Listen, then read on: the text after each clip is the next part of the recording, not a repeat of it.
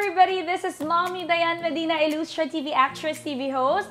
Alam nyo ba, as a mom, I always have to be more practical when it comes to buying home appliances. And as a frugal person, syempre I have to be more practical and always on a budget. I wanna share something na talagang na-discover ko lang recently. Oh my gosh, mga mommies, ang ganda nito. So this is the Tatong multifunctional cooker and steamer. Grabe mga mommies, this is so beautiful. Kasi this is already two-in-one rice cooker na. Aba, steamer pa! Ang daming uses at pwedeng paggamitan.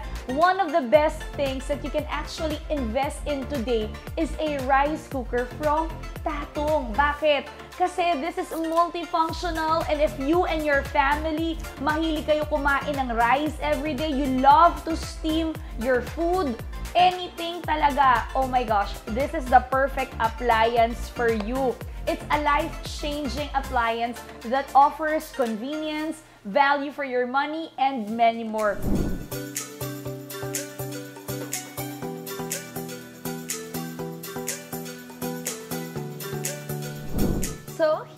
Have our rice cooker unit, our cover.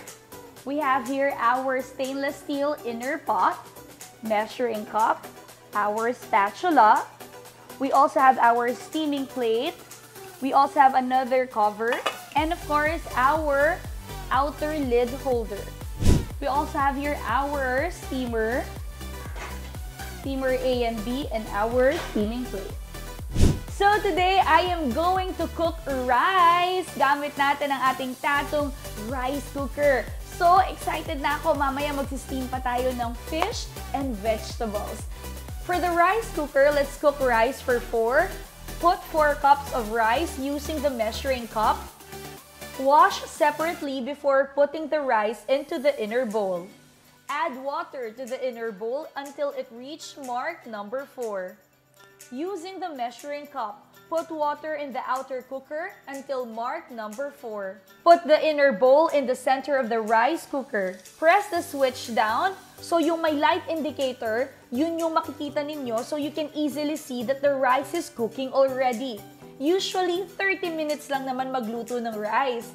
So here, it will stop automatically, meaning luto na yung rice nyo.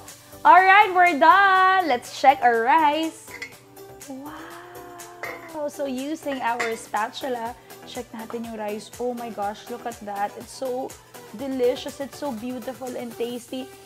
At sobrang bango. I'm so excited to eat this. Rice is life! Alright, so alam nyo bang pwede rin kayo magluto dito ng congee, ng stew, ng soup, gravy, and many more. O ba ang daming pwedeng lutuin. Today naman, magluluto tayo ng vegetables and fish using pa rin still our rice cooker. So itong tatong rice cooker, ang ginagawa ko dito is I usually set this aside. Hindi ko na nililipat yung rice sa pot. Sabi ko sa inyo, ang dami niya talagang use. So what I do is just I get the inner steel pot. There you go. Nilalagay ko lang siyang ganyan, sineset aside. Dito na ako nagsaserve ng rice. And then I just get the steel cover. Yan, to keep the rice warm. So, nandito na lang siya nakaset aside at pwede na tayo mag-steam still using our tatong rice cooker. So, here we just need our measuring cup. Lagyan lang natin ulit ng water para makapag-steam tayo. So, again, kukunin natin yung ating steamer. So, we have here our steamer A, steamer B, and our steaming plate. So here, we're gonna cook, syempre, ang ating favorite pampano. This is actually my favorite. This is very healthy. We also have here our broccoli and our carrots. So, steam lang natin siya. Nako, ang dali-dali lang nitong gawin. Sabi ko nga sa inyo, itong mga tatong products natin, extremely easy to use, very user-friendly mga mommies. So now we're gonna steam pampano fish. This is actually my favorite. Sobrang healthy, ang daling gawin. So usually, I just marinate my pampano with salt. So, irarob lang natin siya ng ganyan sa fish. Imamassage lang natin. And of course, also on the other side. There you go. So, here's our steaming plate. So, we're just gonna put the fish inside like that. And then, we're gonna put it here. So, ganun lang siya kadali. Sabi ko naman sa inyo, sobrang dali niyang gamitin. And next, we're gonna steam our vegetables. We have the carrots and the broccoli. So, napakadali lang nito. All you have to do is to just put everything into the steaming plate. Ganun lang kadali. Ito naman, I don't normally uh, marinate the broccoli and the carrots para lahat ng health benefits makukuha natin. So, kung gusto nyo ng konting maalat, pwede naman kayo maglagay ng konting salt. So, here, ilalagay lang natin siya dito.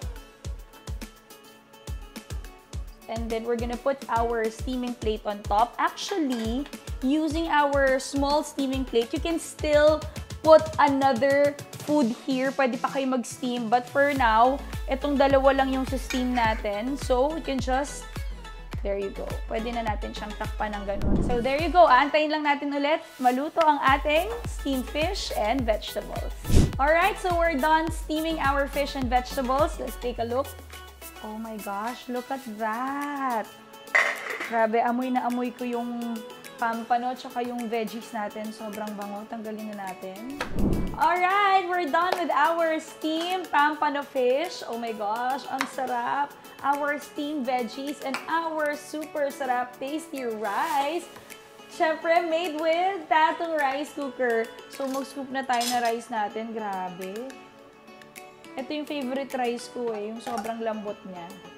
Yan, nakita nyo naman, sobrang ganda ng pagkaluto. So, nakita nyo naman, mga mommies, ginamit ko na rin yung steel pot cover natin as lalagyan ng rice natin. Hindi ko na siya nililipat pa. So, yun ang secret natin. And of course, meron din tayong spatula over here. So, there you go! Tatong's products are made with either stainless steel or aluminum alloy. Kaya talaga nakakasiguro kang very durable ang products nila. So apart from being tough and durable, these are also easy to clean. Because of the features of the Tatum rice cooker, you will be getting the best value for your money. With multiple modes, syempre ang daming inclusions, di? May mga additional accessories, tough material, and aesthetically pleasing designs. What more can you ask for? You will definitely make a worthy investment. So apart from being the leading brand in Taiwan for energy saving and smart solutions, and not to mention that this brand is actually under Taiwan Excellence. Tatong also provides home appliances to make your daily chores more convenient. With Taiwan's number one multifunctional rice cooker in the Philippines, you will experience a more convenient cooking experience. Like me, syempre, di ba, I am a mom, I juggle so much work, and I want to be productive. Importante na meron tayong ganitong klase na home appliance in our homes. So if you need a new multi-cooker for your kitchen, you can order Tatum's products which will be The link is here. I'll be posting the link over here so you can check them out. So ayan na, I hope you enjoyed our quick review at nakapag-share ako sa inyo ng isa na namang tipid tips at napakagandang produkto. Halika, kain na tayo. Samahan niyo ko. Ang bango-bango, ang sarap. Gusto ko nang kumain.